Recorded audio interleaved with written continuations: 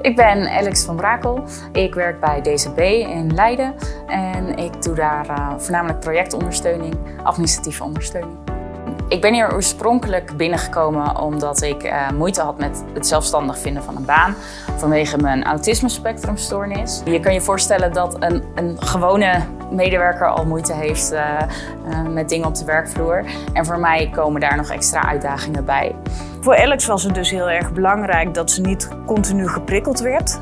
Dus uh, daarom hebben we ervoor gezorgd dat ze achter twee schermen kon werken.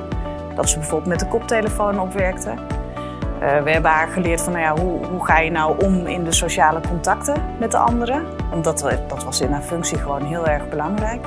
Ik was altijd juist een beetje eerlijk in communiceren. En uh, op de werkvloer moet je soms dingen met beleid zeggen. Zeker als het een gemeentelijke organisatie met politieke gevoeligheid betreft. Daar ben ik nog steeds wel in aan het leren. Uh, maar gelukkig heb ik wel collega's waar ik altijd terecht kan. Of die me uh, aanmoedigen om toch eerst even mijn mail te laten checken voordat ik hem uitstuur.